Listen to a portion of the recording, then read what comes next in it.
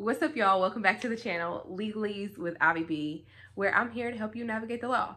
I haven't been here in a minute, but I'm super excited. Today is the six month anniversary of my firm.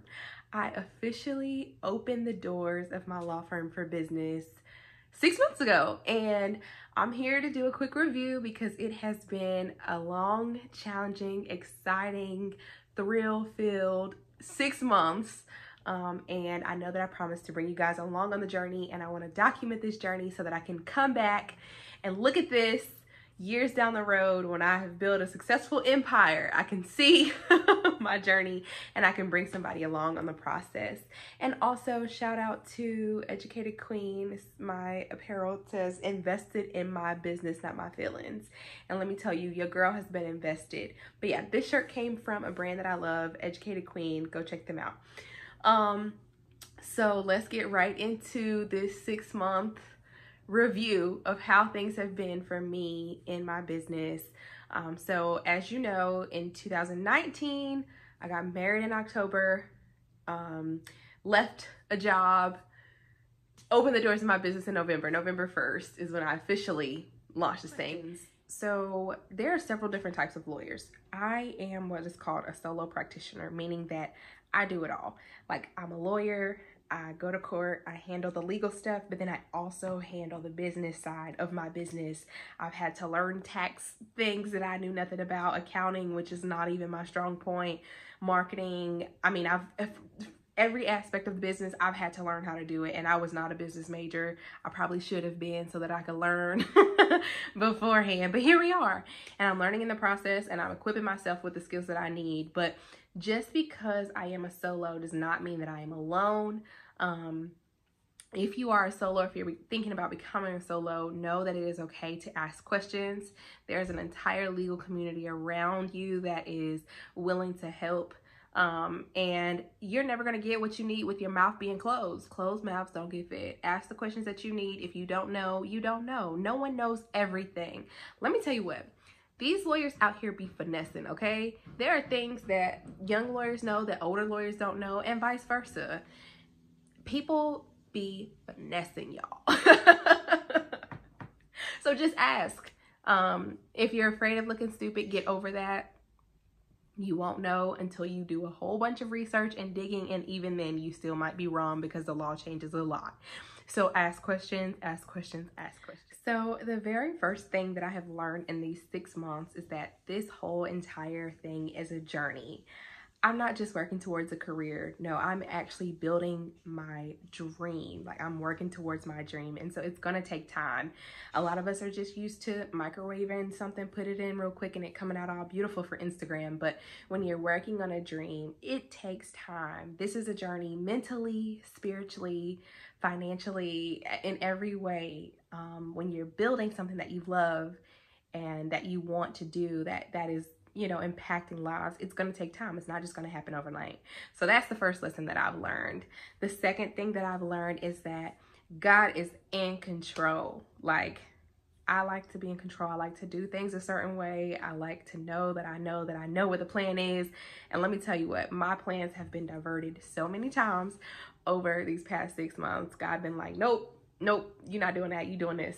And, and his plan is so much bigger every single time. It's bigger than what I can imagine.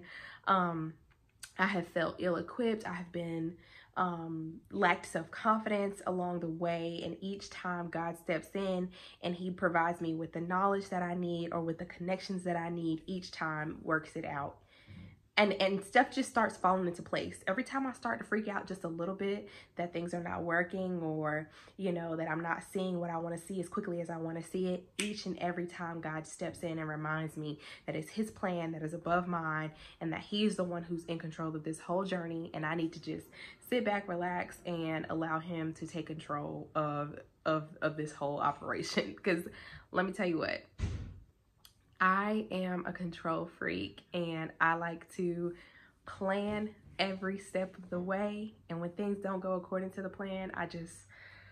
the next thing that I've learned is that faith without works is dead, right? You can pray all you want to, but if you don't put in the work, nothing's going to happen. I started this practice from the from the ground up. I didn't leave a firm with clients already. I had to start establishing a whole book of clients and I didn't know how I was going to do that, but I've taken marketing classes. I've actually done things to equip myself with the skills. I've taken CLEs.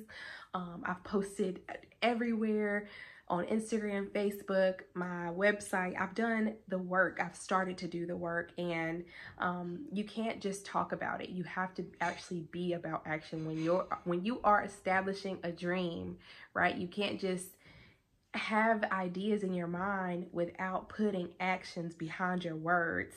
It takes work. And this is not a nine to five. I don't work a nine to five life. I work unconventional hours because I'm building something that I want to outlast me. I want this to be my legacy. Someone asked me what has been one of the most challenging things about being a solo.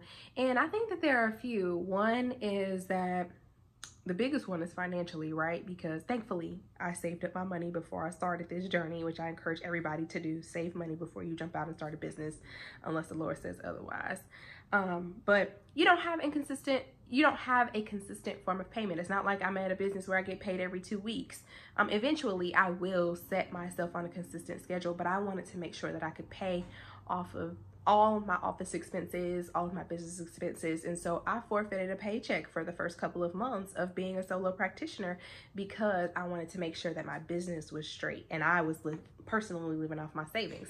And so there's that, the financial hardship of it until, you know, you're really built up and have that solid book of business. Um, I think also um, the need for mentorship is very important. So I think um, getting I I did a good job by getting connected in the alumni association at the school that I the law school that I went to so that I could make sure that I surrounded myself with people who could help out. Um, but it is important especially as black lawyers that we look out for each other and that we help as much as we can.